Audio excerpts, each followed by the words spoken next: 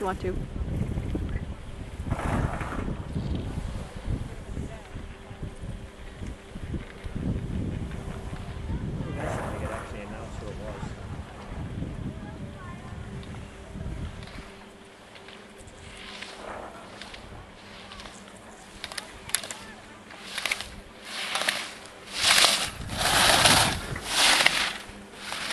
They were announcing the racers' names.